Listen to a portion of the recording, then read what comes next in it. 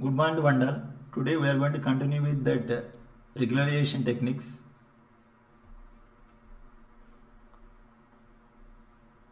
When coming to L1 regularization, that will try to remove unnecessary features. Removing unnecessary feature means it will try to make sum of the weights to be zero. When coming to L2 regularization, that will try to reduce the magnitude of weights. That will try to reduce the magnitude of weights. That may not make the weights to be zero, but L1 regularization will try to make sum of the weights to be zero.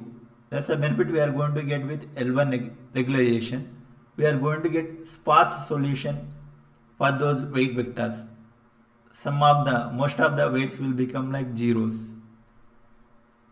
Those weights corresponds to almost irrelevant features are less relevant to our classification or regression problem. For example, consider some error surface. This is these are the this is two dimensional, right? This is two dimensional. We are having W1 and W2. These are two parameters here, and loss is function of these two parameters. L of W1 comma W2. Loss function of these two parameters. We have two parameters in our model W1 comma W2. This is L of W1 comma W2. This y coordinate. Uh, this coordinate corresponds to loss. These two coordinates corresponds to weights W1 and W2. For example, this is 0, 5 and 10. This is 0, 5 and 10 for W2. This is for W1. And this corresponds to loss, this axis. Like x coordinate, y coordinate and z coordinate. And there is some coloring, right? You can try to see this red color corresponds to high loss region, high loss. And this color corresponds to little bit less loss compared to this one, but still this is high loss only. And this is low loss region. The last function value is very very low in this blue color region. And these are the contours. Here we can see some circles or some ellipse kind of thing, right?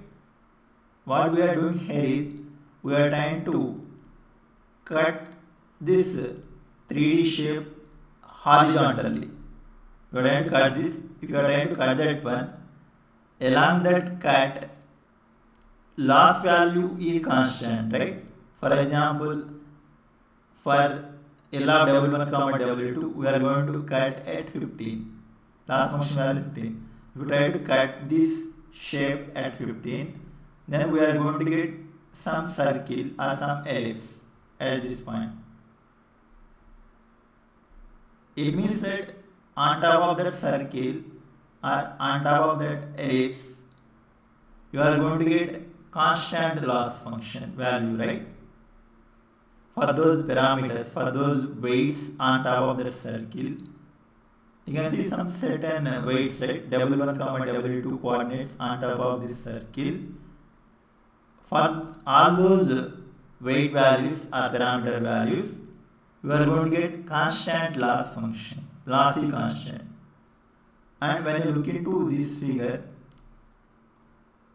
this red colored ellipse outside is having very high amount of loss and almost everyone is having same loss on top of this ellipse. This is having little bit low loss compared to this, further less, further less, further less and so on. And when coming to this circle, inner circle, is having very low loss as compared to the and all points on top of the circle are having same amount of loss. That's what this is representing. 2D contours.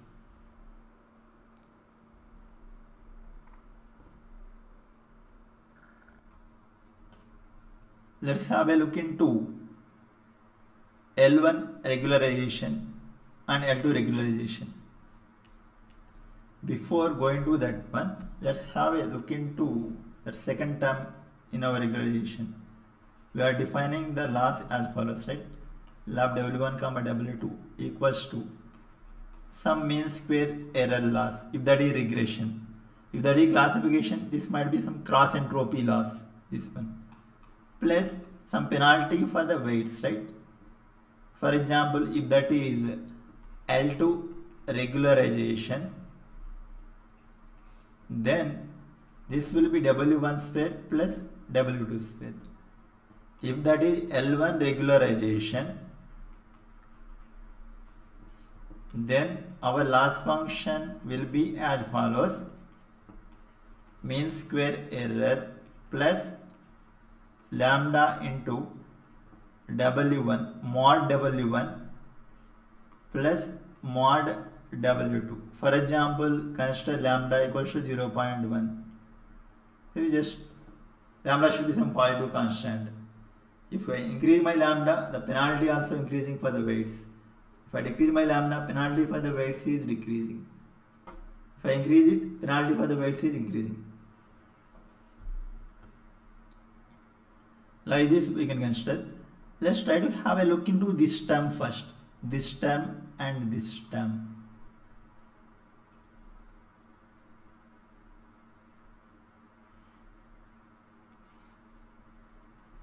if I consider that L2 regularization the penalty term is lambda into W1 square plus W2 square right? Let's consider this is W1 and this is W2 coordinate and this is 0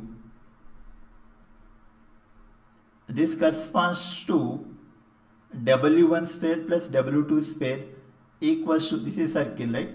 Equals to 1 and this corresponds to w1 square plus w2 square equals to 2 because this is a circle right? W1 square x square plus y square equals to a square. Corresponds to circle with a center 0 comma 0 and radius a. C1 this is 2 and if I go for this if this is 4 then this corresponds to w1 square plus w2 square equals to 4 on top of this circle the sum of these two things will be 4 like that we can see right? As this keeps on increasing as this circle is keeps on increasing further and further this radius this w1 square plus w2 square value also keeps on increasing right? This is also increasing as you increase the radius of this one. Similarly let's have a look into L1 term. That penalty term we are having is some lambda into mod w1 plus mod w2 right? The penalty term we are having. And if you try to plot that this is 0 this corresponds to w1 this corresponds to w2 axis and now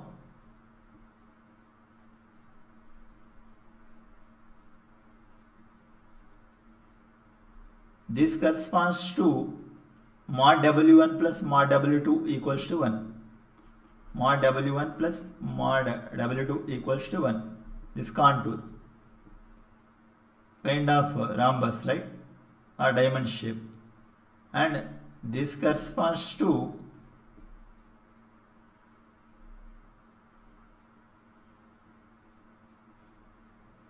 here this is 1 here this value for w2 is 1 c minus 1 c minus 1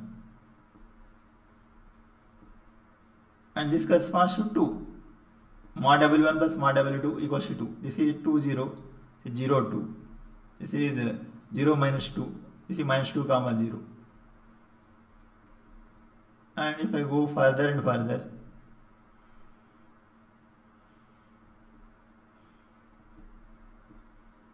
this contour corresponds to mod w1 plus mod w2 equals to 4 for example.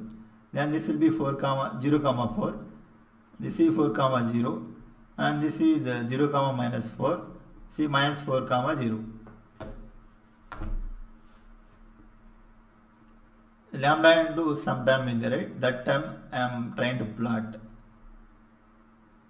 Like this we can expect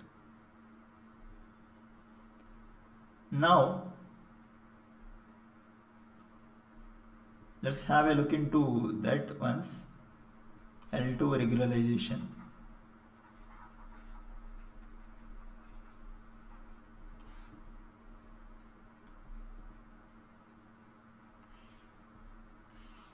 With loss function as follows.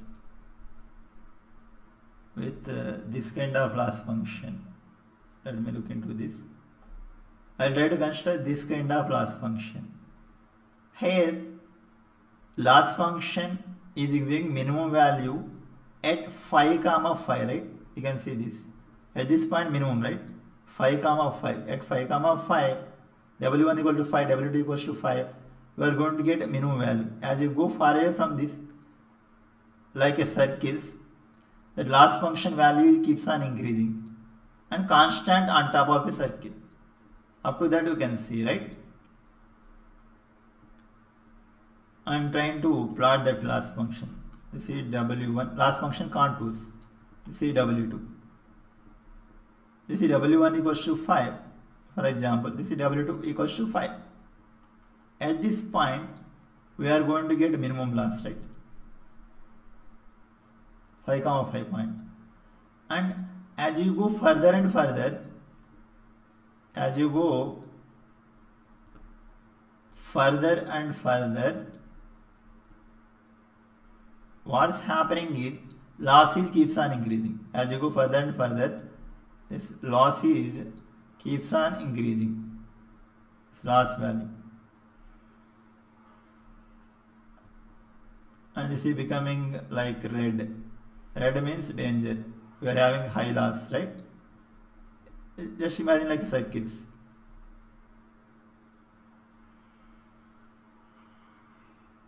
that loss keeps on increasing further and further.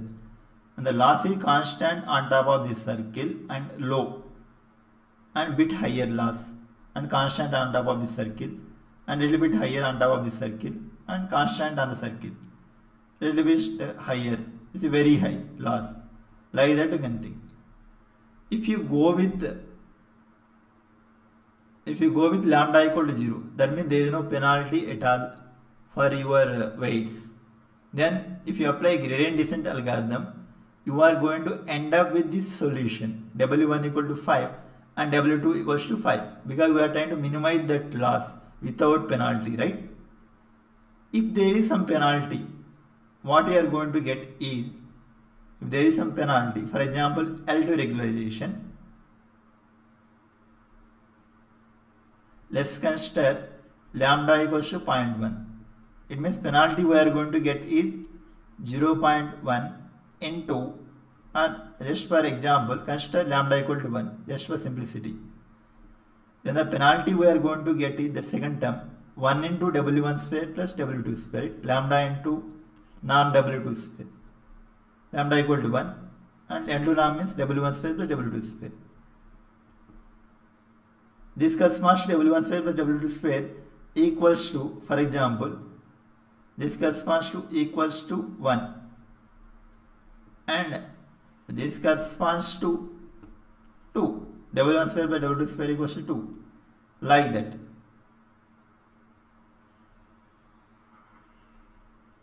And this corresponds to some 3 and let's have a look into this.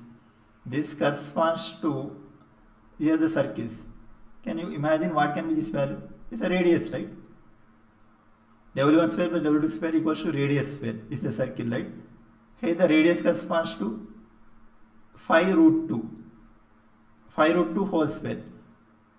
25 into 2 50 this corresponds to w1 square plus w2 square equals 50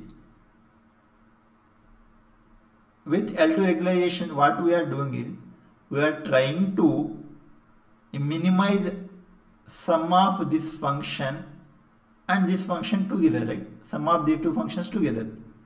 We want to minimize both together. We don't want to minimize only this part. Now try to see what's happening. Here as the circle is increasing, in this case if the circle radius is increasing, this penalty also increasing.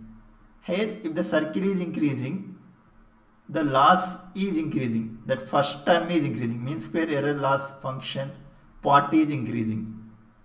Here if you increase this circle, that penalty is increasing. You want to minimize both together, right? For example, I want to focus on low mean square error region. At this point, you can see the penalty, right? Penalty is very, very high. Penalty you are going to get is lambda into 50. Lambda equal to 1, right? Lambda into norm W square. Here norm W square is 50. 1 into 50. You are going to get huge penalty for you, right? Then the sum will be higher because the second term is high. Even though first term is almost negligible, it's mean square error, second term is so high. Then what we what we need to do is we need to reduce the weights. If you try to reduce the weights, for example, uh, after reducing the weights, you got uh, some circle like this. For example, this corresponds to 25. Let's say W1 square plus W2 square equals 25. But the error you are, mean square error you are going to get is bit high compared to that, right? Earlier you got almost nearby 0. Now the mean square error you are going to get is somewhat high. Let's say for example 5. Mean square error you are going to get is 5 here. 5 plus 25. Penalty plus error, right? 5 plus 25 is 30. 30 is the total error you are getting. Earlier case you got roughly, if I consider mean square error for this is 0.1 for example, for this least point, plus penalty is 50, right? It means I am getting 50.1. 50.1 is higher compared to 30, right? It means this is preferable solution compared to this one. This is preferable, right? It means my solution is good at this point as compared to this point. But at this point, if I consider only that first term, mean square error term, that is 5, here 0.1. That mean square error is high compared to this one, right? You can think it like uh, overfitting.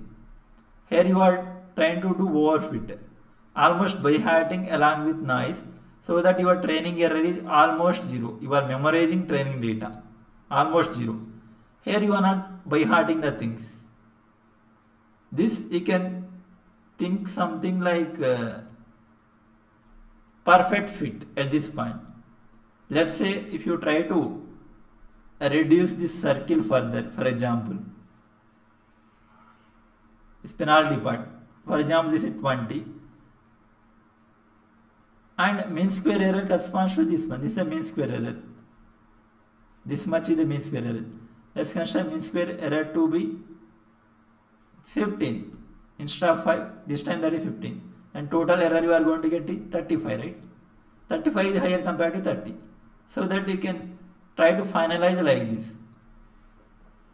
Try to finalize these weights, these weights W1 and the constant W2 as your final solution to your model, that learning model. Like that you can do. Instead of lambda equal to 1, if I try to increase my penalty, for example, if I try to make it like uh, 100, lambda equal to 100, then what I am going to get is just with W1 square plus W2 square equals to 1 circle itself, my last function contributed by penalty is 100.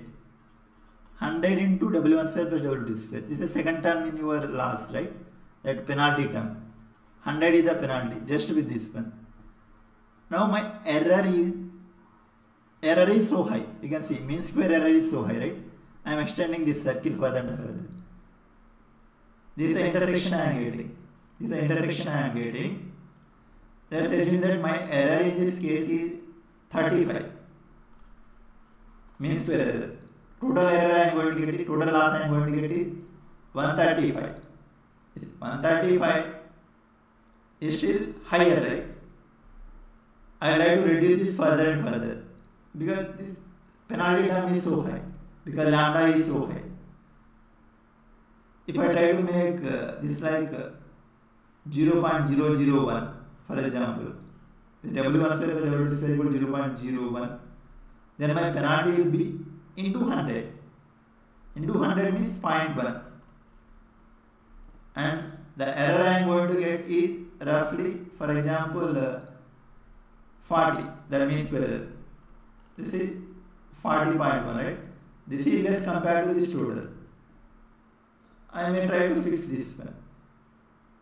Try to apply more penalty to the weights, then your finalized weights you are going to get are very less, right? They are nearer to zero.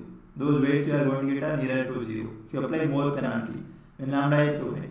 When lambda is less, you may get some reasonably high weight values or some moderate values, right? But far away from this zero. That's the beauty of regularization. Let simplify your model. And here you can try to see the weights you are going to get are somewhere along this side. these are the possible weights you are going to get based on your lambda value, based on your penalty. None of them became like completely zero. None of these weights, W1, W2. But both of them trying to become like zero, but none of them became like zero, right? They are non-zero. They are trying to decrease their magnitude, magnitude of those weights, W1, W2. That's what they had until now. Instead of this, if you go with uh, L1 regularization, what's going to happen with L1 regularization is, let's consider uh, this corresponds to 5, 5 point W1, W2. This part corresponds to mean square error loss, that first term in your loss expression. The mean square error keeps on increasing, either you can think. And this is our L1 loss. Now mod W1 plus mod W2.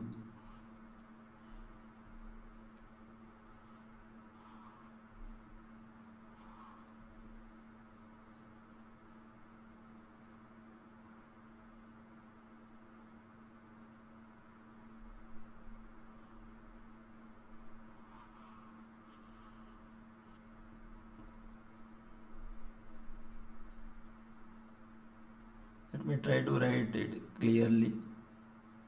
I had done some mistake in parting this by parting this.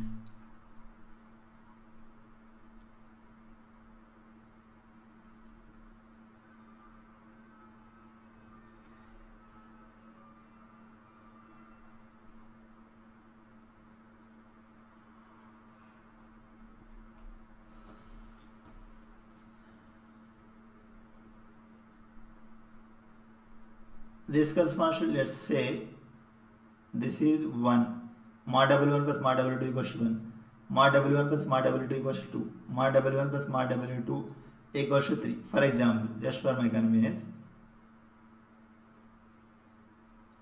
And let's assume that similar to earlier lambda equal to 1 for example.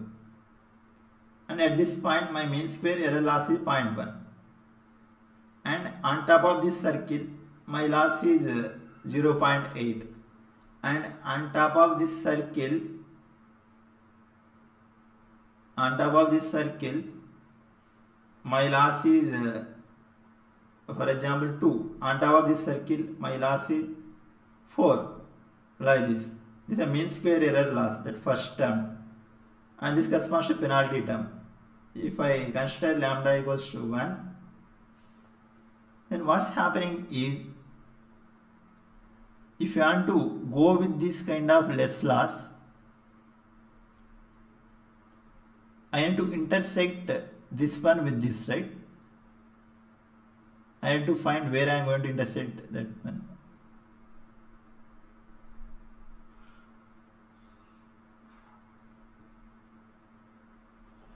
Yeah you can try to visualize this one. Similar to that uh, L2, L2 regularization you can try to compare with that here we are going to get a solution as a sparse solution right you can see at this intersection at this intersection is W1 is 0.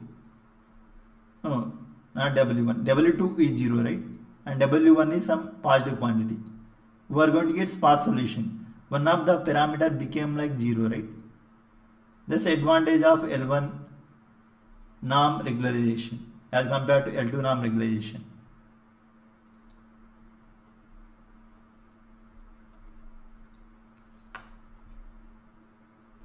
You can try to look into this.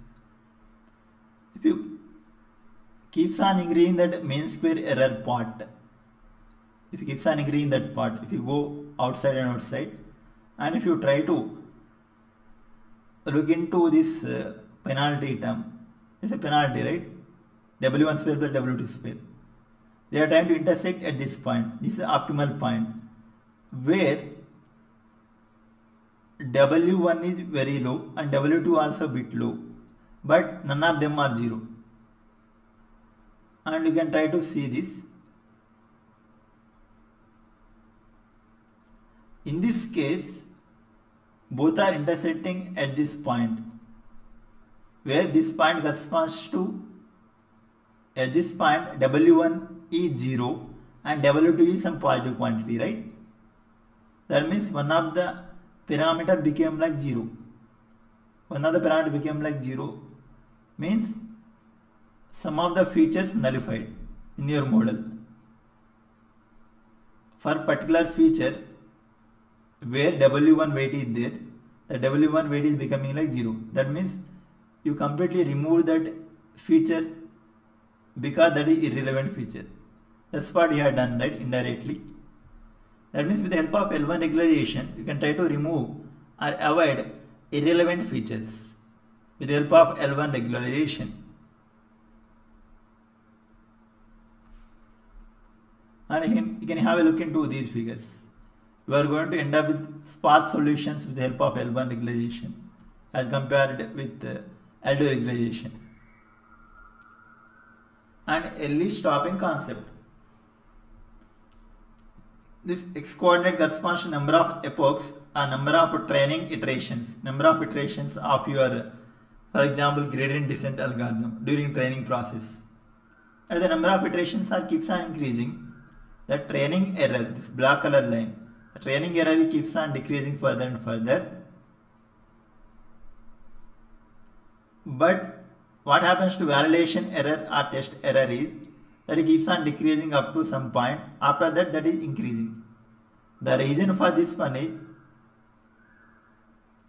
I started with some complex model. My model is so complex so that I consider up to higher order uh, feature terms. If I train it deeper and deeper, if I try to increase the number of iterations, what will happen is that will simply try to by heart noise along with signal in your training data. In, in the initial stages, in general, they will try to learn that major pattern of your signal because signal component will be dominating as compared to noise in most of the data sets. As you train deeper and deeper, that means during initial stages, that will try to track that signal almost during initial stages of training up to some few iterations after that iteration, after so many iterations, what happens is it start tracking along with noise. Even though noise is uh, less dominant in your as compared to signal, there's minute variations also will be tracked with the help of this high complex model if you train further and further. That's the problem you are going to get. With more number of epochs, this will try to simply by heart that entire training data, including noise. That's, uh, that's what you are seeing in this graph. Up to some number of iteration, that's fine. This validation error also keeps on decreasing because it's trying to learn that uh, signal pattern. After some time, it will try to capture, they will try to track noise also after some number of iterations. That's why this validation error is increasing. Is some sort of overfitting at this point. It's almost like right fit. Here it's almost like underfit. during the initial stages only some of the components will have reasonable weights. At this point, almost all the useful components will have reasonable weights. Almost all the useful features will have reasonable weights. At this point, irrelevant features also will try to have some weight. Like that you can think in other way. Here you need to stop your training. Once your validation error is low and started increasing after that, you can try to stop here and you can fix these weights.